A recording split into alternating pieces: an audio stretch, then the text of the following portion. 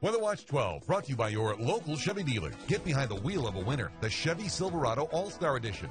Now you can get one with $5,500 in total cash value discounts. Hurry in to see your Chevy dealer for details as the Silverado All-Star Edition won't last long.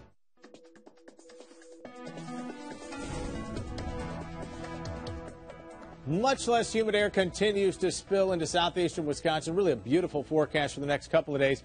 Sun setting at 834 tonight. Temperatures around 80 degrees. Very nice at 10 o'clock. If you're heading to Jazz in the Park, it is going to be beautiful. 74 degrees at 10 o'clock, 63 degrees when you start your day off tomorrow uh, at 7 o'clock in the morning. All the clouds have moved out. There's still a little fair weather cloudiness here and there, but overall, a generally clearing trend continues. We need the rain.